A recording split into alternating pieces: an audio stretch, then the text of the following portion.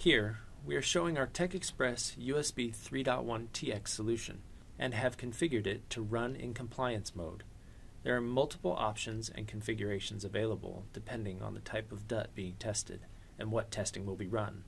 We are set up to run at the USB 3.1 Gen 2 rate of 10 gigabits per second and to run a mask hits measurement. As you can see here, there's a long list of measurements that can and would be run in a full compliance test environment. For the purposes of this video, we've selected only one measurement to shorten the test time and focus on when specific tests are failing.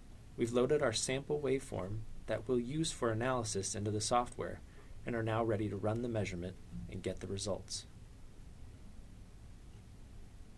When we start the capture and analysis of the data, you can see the TekExpress software will minimize itself to allow better visibility of the scope graticule so the user can see the progression of the measurement.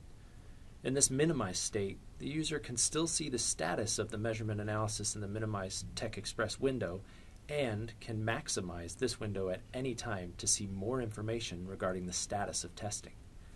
Here you see the SIGTEST software window pop up. SIGTEST is the official analysis software for compliance testing required for USB certification. At this point, the scope is finished acquiring the waveform, and now the analysis has begun on the data that was acquired. SIGTEST will analyze the waveform, and once finished, the TekExpress application will pop up the results the, in a formatted report. This analysis takes a few minutes, so we'll fast forward to report generation. Now we have the report from TekExpress with the results of the analysis. The report shows a failure, as expected, showing the eye diagram with a single errant transition that crossed right through the center of our eye diagram. So now we have a result that shows our signal has failed the mask hits measurement, but there is more we can do to get insight into this failure.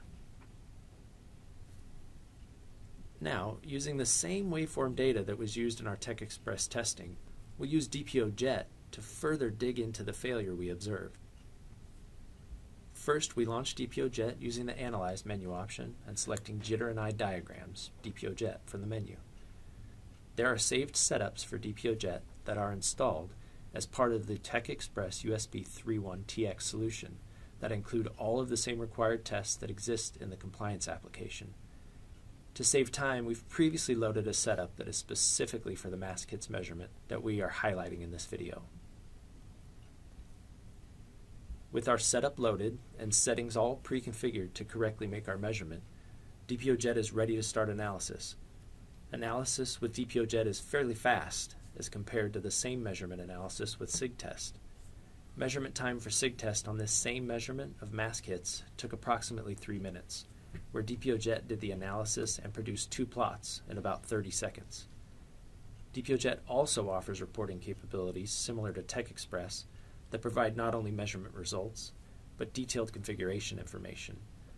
This ensures that any follow on measurement debugging can be correlated to previous efforts in an efficient way.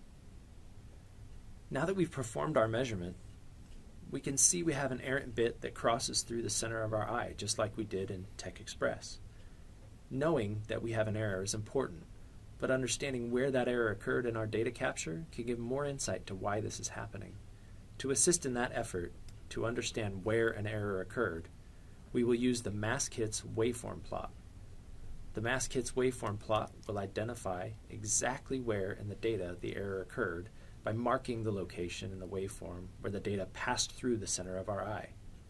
The plot can be zoomed in to see the place and time where the error occurred, allowing designers to get a better understanding of where an issue may exist in their system. Today, we've given a short example of how to take your measurement challenges beyond compliance.